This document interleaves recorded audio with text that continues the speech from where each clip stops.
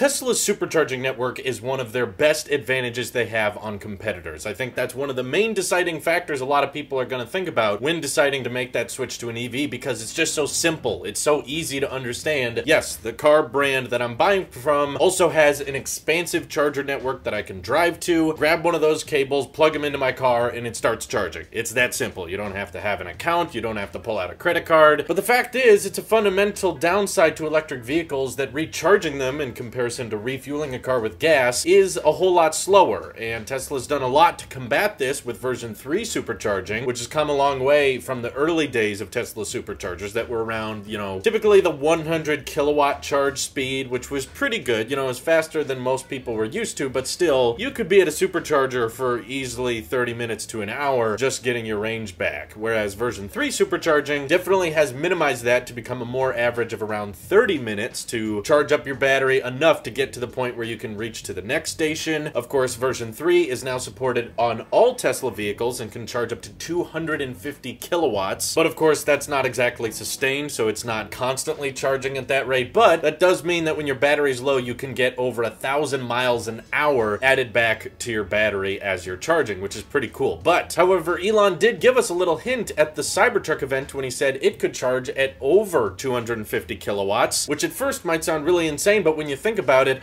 the Cybertruck likely has very, very large battery packs because, for one, it's a much heavier vehicle, it's a much larger vehicle, and some people have speculated that that tri-motor 500 mile Cybertruck could probably be packing a battery pack well over 180 kilowatt hours. So we're talking almost two Model S battery packs stacked together. In fact, some people are even thinking it could be a 200 kilowatt hour battery pack inside there. We don't know. It depends a lot on the energy efficiency and the type of batteries they're using once the Cybertruck is available, but Elon said we'd get the official charge speed at a later date, but I think it's reasonable to assume, given there's other EV charge points out there that are claiming they're going to be able to eventually support 350 kilowatts, which is insanely fast, and there's even some vehicles out there today that are claiming that they're going to support fast charging at up to 350 kilowatts. There's just not much of a network that supports it, or they've left the software feature turned off in the vehicle themselves. And I think as Tesla wants to be at the bleeding edge of electric vehicles, and while they love talking about how they're open source and they want other people to use their batteries and powertrains and that kind of thing, at the same time, Tesla can be highly competitive though. Sometimes a product will come out or something will get unveiled, and Tesla will do their best to beat those specifications because at the end of the day, I think Tesla really is competitive. And knowing that there's going to be these other charge points in other vehicles that are capable of charging faster than Tesla's, I think they don't like that, and I think they have something big planned for version 4. I think worst case scenario, we should expect version 4 supercharging to be around 350 kilowatts, which could mean into the future, as Tesla designs their batteries to take this much energy at once, the average supercharging session could go down from, you know, 30 minutes to around 20 minutes. Now you're getting really, really close to how much time people typically spend at a gas station, which I know majority of the time people can just drive in, fill up, and be out within 10 minutes. But as electric cars and charge rates are improving and getting much, much better, this might slowly start to become less and less of an electric car issue and more of just a physics battle because I really don't think it's that complicated to send 350 kilowatts through a cable. The complicated part is how you preserve the battery health, which of course on Battery Investor Day, which is just around the corner, we should be hearing about their next generation cells they're using and their roadmap to producing, you know, millions and millions of electric vehicles every single year. So I'm hoping that they at least talk a little bit about version 4 supercharging at this Investor Day because I think people hearing that in the future it won't take, you know, 30 minutes to 40 minutes to charge up your electric car on a road trip, but now in the future, if they start using updated battery packs and probably have to update some of the internal wiring on Tesla vehicles, maybe they could start supporting 350 kilowatts or better because Tesla likes to go above and beyond. They like to surpass their competitors, not just match them. So who knows? Maybe even getting closer to 400 kilowatt charge rate, in which case you could totally imagine a ton of people just stopping at a supercharger, plugging in for about